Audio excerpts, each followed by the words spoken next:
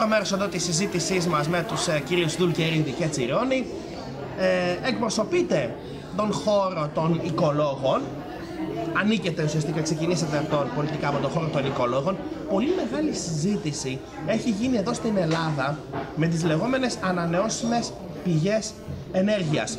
Ε, ναι, ναι, μεν έχουμε αρκετό πλούτο τέτοιων ενεργειών, ε, πηγών ενέργειας, ωστόσο πάρα πολλοί έχουν ε, πιστέψει και όχι άδικα ότι αυτές οι πηγές δεν έχουν αξιοποιηθεί σωστά ή αξιοποιήθηκαν ε, με εντός εισαγωγικών δόλιου τρόπους, δηλαδή με τρόπους οι οποίοι δεν συνέφεραν στην τελική, παρα, δεν βοήθησαν στην τελική παρά μόνο αυτούς που ήρθαν πλέον να τις ε, προσφέρουν αυτές τις ανανεώσιμες πηγές ενέργειας. Η δικιά σας άποψη, καταρχήν, εσά κύριε Τσιρόνι, που είστε εδώ στην. που ζείτε εδώ τα πράγματα της χώρας. Ε, είναι χαρακτηριστικό ότι ακόμα και μία μορφή επενδυτικής δραστηριότητας, όπως είναι οι ανανεώσιμες πηγές ενέργειας, εμείς οι οικολόγοι πράσινοι είμαστε κάθετα υπέρ, 100% υπέρ, εάν γίνει αντικείμενο διαπλοκής και συμφερόντων, μπορεί να μην δώσει στους πολίτες αυτό που πρέπει. Δηλαδή, ούτε να έχουν ανταποδυτικά ωφέλη πολίτες, ούτε φυσικά το περιβάλλον να προστατευτεί, γιατί έχουμε δει εδώ πέρα βουνά να έχουν γίνει ταμάρια. Κυριολεκτικά ταμάρια. Δηλαδή πηγαίνουν και φτιάχνουν κάτι δρόμους 6-8 μέτρων, φτιάχνουν τεράστιες πλατφόρμες ε, τσιμεντένιες ε, πάνω στο βουνό για να χτίσουν αμογεννήτρες, γιατί φυσικά ο, ο επιχειρηματίας πάει εκεί είναι ένας κλασικός παραδοσιακός επιχειρηματίας που το μόνο που νοιάζει να μεγιστοποιήσει το κέρδος του και ας πάει και το παλιάμελο. Δεν κοιτάνε τις ροές των ε, πουλιών που είναι πάρα πολύ σημαντική η ορνητοπανίδα της χώρας, της χώρας μας. Ε, δεν κοιτάνε τίποτα, δεν κοιτάνε τα δάση μας, δεν κοιτάνε ότι έτσι καταστρέφουν οι υδροφόρους κόβοντας αυτούς τους δρόμους. Ε, είναι ένα διαφορετικό μοντέλο. Εμείς πιστεύουμε πρώτα απ' όλα στην εξοικονόμηση ενέργειας και να πω ένα δραματικό νούμερο. Η Νορβηγία, μια πολύ βόρεια χώρα, και πολύ κρύα, έχει αναμονάδα ΕΠ 800 βαρέλια ημερησίως πετρελαίου. Αναμονάδα 800.000. Η Ελλάδα έχει 1200. Είμαστε πιο σπάταλη χώρα σε πετρέλαιο, Νορβηγία που είναι και πετρελαιοπαραγωγός χώρα. Έτσι. Ε, εδώ λοιπόν πρώτα απ' όλα πάμε, να πάμε σε εξοικονόμηση. Εμείς πετρέλαιο και ψάχνουμε τώρα να Ας μην το σχολιάσουμε. Α μην πούμε εκεί τη συζήτηση επωνεμένη ιστορία, εάν η Ελλάδα θα γίνει. Ε, κοιτάξτε, η Νορβηγία έχει ένα κράτος πάρα πολύ ισχυρό, εκμεταλλεύτηκε μόνο το πετρέλαιο και είναι το μοναδικό ιστορικό παράδειγμα στον πλανήτη χώρας που κέρδισε από το πετρέλαιο. Όλες οι άλλες χώρες έχασαν το πετρέλαιο. Κέρδισαν οι πετρελαϊκές εταιρείες. Αν καταφέρετε να βρείτε μία χώρα, έστω και το Κατάρ, που η κοινωνία να κέρδισε, βρέστε να σας την πω. Εγώ έχω κάνει μελέτη γι' αυτό. Γι' αυτό, και, γι αυτό και τώρα αρχίσει σιγά σιγά και βγαίνει ο ΣΥΡΙΖΑ και λέει ότι υποκρατικό έλεγχο να περάσουν δεν έχει τη δύναμη το ελληνικό κράτος και ελάχιστα κράτη σας λέω είναι μια εξαίρεση η Νορβηγία, ούτε καν η Βενεζουέλα επί Τσάβες δεν κατάφερε να στρέψει αυτό το μοντέλο, να μπορέσει να την εκφώνηση τη σωστή υποδημόσιο κοινωνικό έλεγχο. Ε, η ιστορία πετρέλαια, επειδή είναι μια ιστορία πολύ μακρόχρονη και δεν είναι στις πρώτες προτεραιότητες, να καταλάβουμε όταν μιλάμε για πετρέλαια στην Ελλάδα πλην τη Καβάλας, Μιλάμε για μια ιστορία η οποία θα ξέρουμε αν θα αποδώσει μετά από 8 χρόνια. Άρα δεν είναι κάτι άμεσο. Οι ανανεώσιμες πηγές ενέργειας είναι κάτι άμεσο τώρα. Και να μιλήσω για αυτές και να πω ότι στην Ευρώπη εμείς συμμετέχουμε σε ένα κείμενο που λέγεται RESCUP, το οποίο είναι συνεταιρισμοί πολιτών που κάνουν τις ανανεώσιμες πηγές ενέργειας φυσικά παράγουν την ενέργεια που χρειάζονται οι ίδιοι και μηδενίζουν το κόστος αγοράς πετρελαίου στην περιοχή τους. Και είναι προφανές ότι αν πάμε στη Σέριφο για παράδειγμα και μπουν οι ανεμογενεί εκεί που θέλουν οι πολίτες για να παράγουν την ενέργεια που θέλουν οι πολίτες στη Σέριφο και γίνει η Σέριφο ενεργειακά αυτάρκης, δεν θα υπάρξει καμία αντίδραση. Θα είναι οι ίδιοι που έχουν σχεδιάσει και οι ίδιοι που θα είναι συνέτεροι σε αυτή την επιχείρηση. Αν πάει φυσικά ένας μεγαλοεπιχειρηματίας και θέλει να φτιάξει ένα δάσος από ανεμογεννήτρες, καλά θα κάνουν μια ξεσηκωθούν. Είναι πάρα πολύ φυσιολογικό. Γιατί να μην ξεσηκωθούν. Όπως πήγε, να, γίνει, όπως πήγε να γίνει πριν από μερικά χρόνια στην, ε, στη Θάσο. Ε, ακριβώς, ακριβώς. Ε, αυτό να πω δύο πράγματα σε αυτό το θέμα ακριβώς. Είναι το πρώτο είναι όταν κάνεις οικολογία χωρίς τους οικολόγους, κάνεις greenwashing. Δηλαδή, κάνεις μια πολιτική όπως ήταν πριν και τη βάφει στο πράσινο και λες να είναι οικολογία. Γιατί και κάνεις ακριβώς το ίδιο. Χωρίς οικολόγους; Μήπως αυτό, υπάρχει, μήπως αυτό είναι ότι γίνεται, οι οικολόγοι. Μήπως αυτό γίνεται καμιά φορά; Εδώ στην Ελλάδα πολλές φορές γίνεται. Πάνε να κάνουν οικολογία χωρίς τους οικολόγους. Ε, Μήπως αυτό γίνεται. Αυτό, δεν Άλλο αυτό. Ε, Άλλο αυτό. Μήπως όμως αυτό ε, οφείλεται κατά έναν βαθμό και ότι οι οικολόγοι είναι και λίγο παρεξηγημένοι σαν έννοια; Για τι πράγμα; Σε ποιο; Γενικώ όταν λέει κάποιο, λέμε κάποιο στην Ελλάδα ότι είναι οικολόγος, λίγο τον. Ναι, εντάξει. Τον ε, περιπέζουν. ε, εντάξει, ε, σε- καταρχήν έλεγα ότι όταν έρχομαι εδώ και μου λένε ποια είναι το επάγγελ- ποιο είναι το επάγγελμά σου, ε, έλεγα είμαι πολιτικός, αλλά όχι στην Ελλάδα. Επειδή υπάρχει αυτή η συμπεριφορά με τους πολιτικούς που είναι λίγο παράξενη και φταίνει οι πολιτικοί που ήταν μέσα στη Βουλή. Ε, όταν ήμουν στην αρχή και έλεγα είμαι οικολόγος, με κοιτούσαν πάλι παράξενα. Αλλά μπορώ να πω ότι και στο Βέλγιο έτσι ήταν στην αρχή.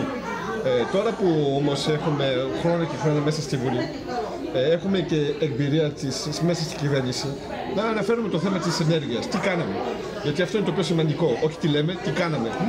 Ε, τι προτιμάμε; Να πληρώνουμε να κερδίσουν τη ζωή τους οι Ρώσοι ή οι αραβικές χώρες που κάνουν εξαγωγή πετρελαίου ή αηφόρο ε, ή ε, αέριο; Ή να πληρώνουμε εμείς και να βοηθάμε τους πολίτες, τι- τους, ε, τα εργοστάσια, ε, τα, τους δήμους να κάνουν εξοικονόμηση ενέργειας. Να κάνουμε εμείς παραγωγή ενέργειας με το δικό μας το συμφέρον. Α, εκείνη η δουλειά μας σαν πολιτική. Και εμείς το κάναμε στο Βέλγιο. Κάνουμε και εξοικονόμηση ε, ενέργειας, που είναι πάρα πολύ σημαντικό, και έτσι προτιμάμε να, να πληρώνουμε Οικονόμηση ενέργειας για ποιους, για τους πολίτες και φαίνεται. για τους πολίτες και για τα εργοστάσια. Για τα Δηλαδή, όταν εργοστάσια. κάνεις απομόνωση των Γιατί σπιτιών, υπάρχουν εδώ πα- κάποιοι που Και πιστεύουν από τη ότι μια πλευρά. η εξοικονόμηση πηγαίνει. σε- Γιατί πιστεύουν κάποιοι ότι δεν πρέπει να προχωράνε ουσιαστικά οι ανανεώσιμες πηγές, αν και εφόσον ε, δεν υπάρχει φτηνή ενέργεια, φτηνό ρεύμα για τους ε, πολίτες. Εντάξει, αλλά το πιο σημαντικό είναι η εξοικονόμηση διότι όλα τα λεφτά που πληρώνουμε για το πετρέλαιο ή το αέριο, ποιος τα παίρνει, δεν τα παίρνουμε εμείς, ούτε οι Έλληνες, τα παίρνουν εταιρείες διεθνές ή κράτη που βρίσκονται έξω από την Ελλάδα. Α, Όταν όμως κάνεις ε, ε, ε, πώς, ε, α- α- απομόνωση, ε, Μόνος στο κτίριο. μόνο στο κτίριο, πληρώνεις εργάτες που θα το κάνουν. Οι εργάτες είναι δικοί μας, είναι Έλληνες. Δηλαδή στηρίζεις την οικονομία μας και έχεις ένα τριπλό στόχο. Οικολογικό, επειδή θα κάνεις, ε, δεν θα κάνεις μια μόλυση ε, στον αέρα. Δεύτερο, ε, υποστηρίζεις τις εργασίες που βρίσκονται εδώ πέρα στις τοπικές και ε, βοηθάς και την οικονομία να μπορέσει να αναπτυχθεί, αλλά εδώ πέρα τοπικά, όχι σε άλλες χώρες. Γι' αυτό το πράγμα πρέπει οπωσδήποτε να ξέρουμε ότι αυτή είναι μια κατεύθυνση και είναι ένας τρόπος ανάπτυξης της χώρας μας που είναι πολύ σημαντικός. Όπως το λέγω ο Γιάννης, υπάρχει νόημα να οι βόρειες χώρες να κάνουν περισσότερη παραγωγή ενέργεια από τον ήλιο από τις δικές μας χώρες όπως στην Ελλάδα. Δεν υπάρχει κανένα νόημα. Δηλαδή ξέρουμε ότι σε, αυτό, σε αυτή την κατεύθυνση έχει ένα περιθώριο να προχωρήσουμε που είναι πάρα πολύ μεγάλος. Όπως και είναι ο αηφόρος τουρισμός. Έχουμε μια χώρα, είμαστε εδώ πέρα στη Καβάλα, στη Βόρεια Ελλάδα, όπου μπορεί κάτι να γίνει πολύ ωραίο, πολύ όμορφο και που να υποστηρίζει την τοπική οικονομία. Όχι πάλι να βοηθήσουμε τα διεθνές πρακτορία να κάνουν και να αποφασίζουν πού θα πάνε οι τουρίστες, αλλά να βοηθήσουμε αυτούς που είναι εδώ πέρα. Τα καφενεία, τα, τα, εργοστάσια, ε, τα, τα, τα, τοπικά εργοστάσια, αυτοί που κάνουν τα, τα, τα, τα προϊόντα, το φαγητό, ο γαστρονομικός τουρισμός. Ε, είναι ένα σωρό πράγματα που μπορούμε να βοηθήσουμε και που θα στηρίξουν την οικονομία μας, που δεν είναι μόνο η κοινωνική, κοινωνική οικο- ε, η, η οικονομία, αλλά είναι η οικονομία με τις μικρές υπηρεσίες, τα μικρά τα εργοστάσια, τα μικρά ε, αυτοί που έχουν μία, ένας, δύο, δέκα εργάτες, αυτούς πρέπει να βοηθήσουμε. Εκείνοι δίνουν δουλειά, εκείνοι στηρίζουν την οικονομία μας την τοπική. Αυτούς πρώτα πρέπει να σκεφτούμε και όχι τις ε, μεγάλες εταιρείες που αποφασίζουν σε μία μέρα στην άλλη ποιους μισθούς θα τους δώσουν ή να φύγουν να πάνε ή σε άλλο κράτος στην Ευρώπη ή έξω από την Ευρώπη. Είπατε τώρα, πιαστικά για να φτάνουμε και σιγά σιγά στο, στο τέλος της ε, συνέντευξής μας, μιλήσατε για, τις, ε, για τα έργα, οι έργα που μπορούν να γίνουν για την μόνωση των, ε, των κτηρίων. Για να μπορέσουν όμως οι, ένας, ένας εγώ τώρα που έχω δικό μου σπίτι και θέλω να βάλω καινούργιες μονώσεις, θα πρέπει να δώσω ένα διόλευ καταφέρον το ποσό. Σε μια, σε μια εποχή όμως που η φορολογία με έχει τσακίσει ο Ένφια ε, συνεχώς ακούμε σενάρια, άλλοι θα τον καταργήσουν, άλλοι δεν θα τον καταργήσουν, άλλοι θα κάνουν αναπροσαρμογή.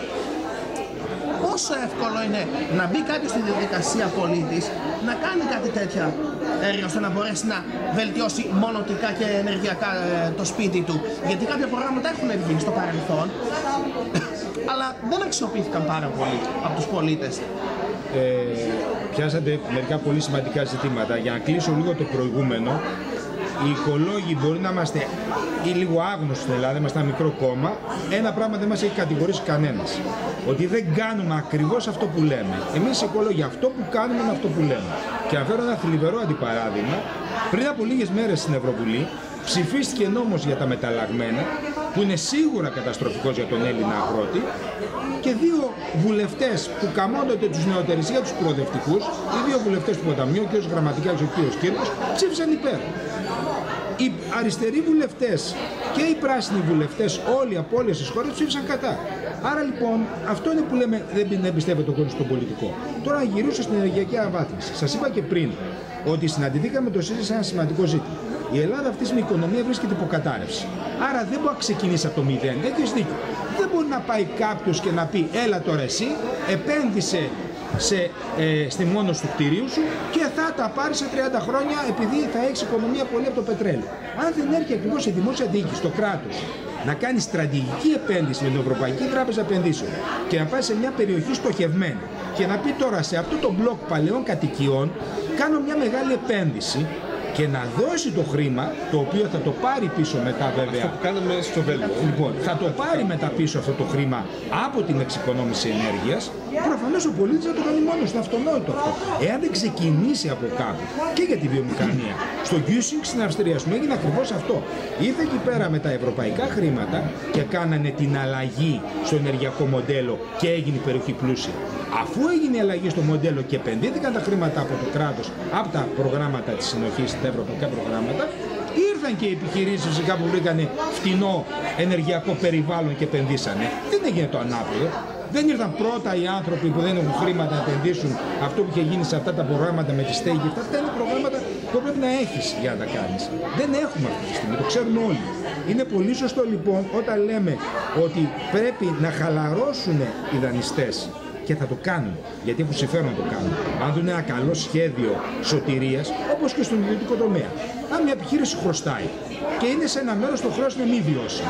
Αν αυτή η επιχείρηση παρουσιάζει στους δανειστές σε ένα σχέδιο σωστό ανασυγκρότησης, ποτέ οι δανειστές δεν θα μπορούν να την πνίξουν.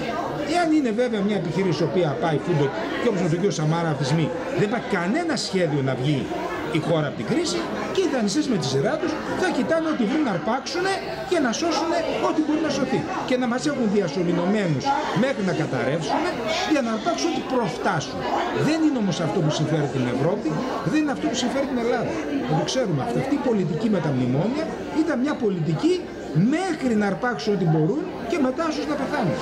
Αυτό σημαίνει αυτή τη στιγμή είμαστε στο όριο να μας αφήσουν να πεθάνουμε. Και εμείς αυτό θέλουμε να αλλάξουμε, να ξαναφέρουμε ελπίδα στον τόπο. Μάλιστα. Δύο τελευταίες ερωτήσεις, μία στον, στον καθένα. Ε, φεύγουμε από τις ανανεώσιμες πηγές σε όλο αυτό το ε, κλίμα που μιλήσαμε προηγουμένως. Κύριε Τσιρόνι, προέρχεστε, όπως είπαμε πριν, από το γενικότερο κλάδο, ε, από τη γενικότερη ομάδα των οικολόγων. Μέσα όμως, είπαμε για το έργο σας μέσα στην Ευρωβουλή, μέσα όμως στον κύκλο των ευρύτερων των οικολόγων, Υπάρχει, το ξέρετε και εσείς, ο κ. Τρεμόπουλος, ο οποίος τώρα είναι υποψήφιος νομίζω με το ΣΥΡΙΖΑ, νομίζω θα επικρατεία, αν θυμάμαι καλά. Ο κ. Τρεμόπουλος υποψήφιος στην Αλφα Αθήνας. Στην Αλφα Αθήνας, Είναι ο πρώην ευρωβουλευτής. Δύο φορές, Στην δύο Αλφα φορές. Θεσσαλονίκη. Στην Αλφα- Θεσσαλονίκη. Στην Αλφα Θεσσαλονίκης. Για τον. Ε, έχουμε όμως μια κυβέρνηση, μια νέα δημοκρατία, η οποία ένα από τα πολλά σημεία στα οποία χτυπάει εντός εισαγωγικών το ΣΥΡΙΖΑ είναι οι απόψεις του κ. Τρεμόπουλου για το μακεδονικό. Τι ξέρετε κι εσείς, τις έχετε ακούσει Η σίγουρα. απόψη του κ. Τρεμόπουλου για το μακεδονικό είναι Για την απίστευτα ονομασία της όνομα του. παραποιημένες και δεν είναι απόψη του κ. Τρεμόπουλου. Είναι απόψη των, πράσ, των οικολόγων πράσινων. Ε, Έχουν, δοθεί, έχουν αποδοθεί όμως αυτό. Επειδή ο κ. Τρεμόπουλος στην εποχή εκείνη που βγήκαν εκείνα τα μπλοκ στα, ακρο, ε, τα ακροδεξιά, τα φασιστικά, έτυχε να είναι υποψήφιος ευρωβουλευτής μας, επικεφαλής ευρωλίστας μας και μάλιστα εξελέγει το 2009 και μάλιστα ήταν εκείνος ο ευρωβουλευτής που ήταν από εκείνους που πρωτοστατήσαν στο Ευρωκοινοβούλιο για να μην ονομάζεται η γειτονική χώρα Μακεδονία αλλά Φύρο. Και έδωσε μεγάλη όθηση σε αυτή την κατεύθυνση του κ. Τρεμόπουλου και αυτό δεν το ξέρει ο κόσμος, γιατί στην Ελλάδα είπαμε η λογική της μονταζιέρα. Λοιπόν, κοιτάξτε, οι οικολόγοι πράσινοι ήδη από την εποχή του Γκλιγκόροφ, από το 1990, λέγαμε σύνθετη ονομασία με γεωγραφικό προσδιορισμό. Αυτή η λύση τότε, εάν είχε γίνει δεκτή και δεν είχαν βγει οι Ελληναράδες οι οποίοι λέγανε κάτι συνθήματα τελείως ανιστόρητα, ε, αυτή τη στιγμή θα είχαμε λύσει το πρόβλημα τότε.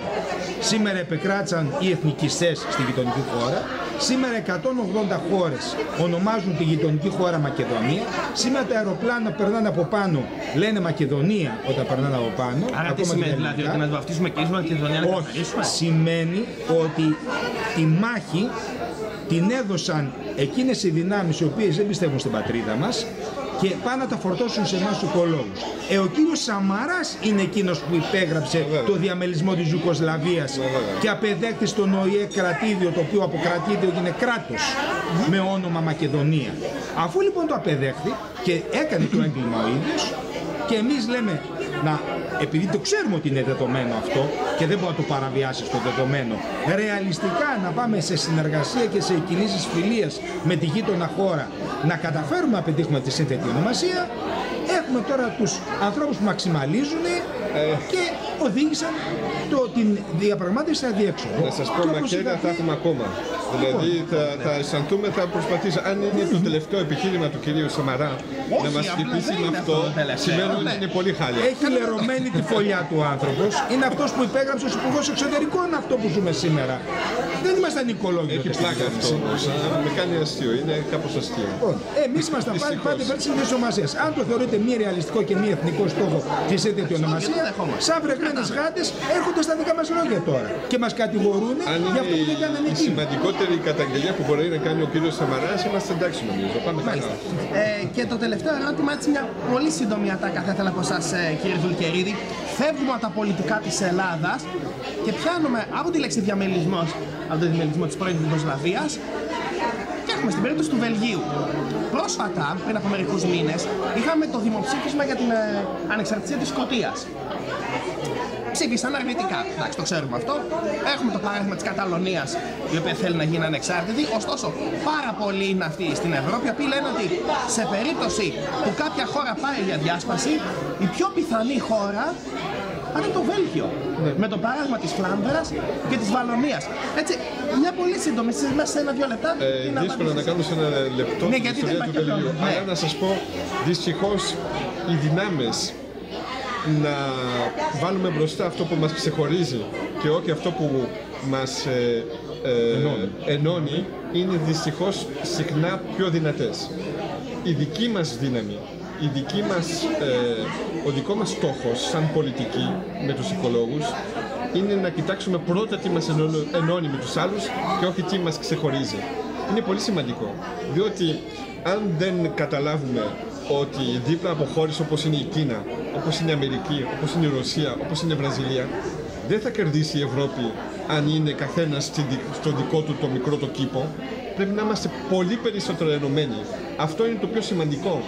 Και να μην νομίζουμε ότι θα μπορέσουμε να δούμε το μέλλον θετικά ε, σκεπτώντας πώς θα ξεχωρίσουμε από τους άλλους. Όχι, πρέπει οπωσδήποτε να σκεφτόμαστε πώς θα κάνουμε κάτι θετικό μαζί με τους άλλους. Εκεί πέρα εμείς ε, έχουμε γράψει την ιστορία και θέλουμε να γράψουμε την ιστορία του μέλλον και εκεί πέρα σε αυτή την κατεύθυνση θέλουμε να πάμε. Υπάρχουν και νασιοναλιστές και άνθρωποι που λένε ότι εμείς θέλουμε να κρατήσουμε, επειδή νομίζουμε ότι είμαστε, θα είμαστε πλουσιότεροι αν είμαστε λίγο πιο μικροί, εγώ νομίζω ότι κάνουν λάθος και πάνε στην κακή, ε, στην ε, λάθος κατεύθυνση. Πρέπει να σκεφτούμε πώς όλοι μαζί θα καταρθώσουμε να χτίσουμε ένα μέλλον και για μας και για τα παιδιά μας που είναι πιο θετικός. Και δεν είναι εύκολο, αλλά πρέπει να το κάνουμε. Μάλιστα. Λοιπόν, κύριε Δουλκερίδη, κύριε Τσιρόνι, σας ευχαριστούμε πάρα πολύ για τον εμείς σας ε, ευχαριστούμε. χρόνο σας. Και σας, κύριε Τσιρόνι, καλή επιτυχία στις εκλογές τη βουλευτικές 25 Ιανουαρίου. Για την Ελλάδα είναι η επιτυχία.